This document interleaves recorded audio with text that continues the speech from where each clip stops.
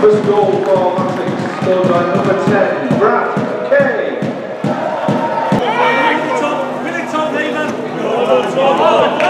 Yes,